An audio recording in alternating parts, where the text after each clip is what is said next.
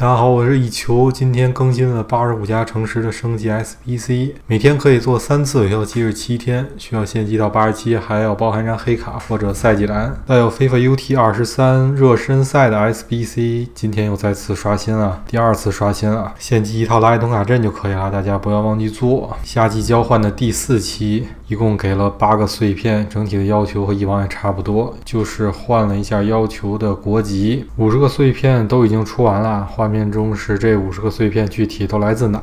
有需要追根溯源的可以看一看。这个兑换 SBC 有效期就到这周五过期之前，不要忘记兑换。好了，就是以上了，谢谢观看，我们下一期再见，拜拜。